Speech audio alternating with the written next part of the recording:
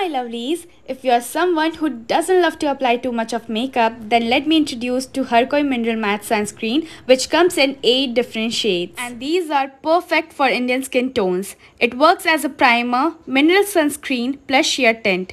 My shade number is 3 and look how this product magically blended into my skin. It gives a very natural look and the finishing is just flawless. It's perfect for everyday makeup base and it has SPF 35. So don't forget to check them out.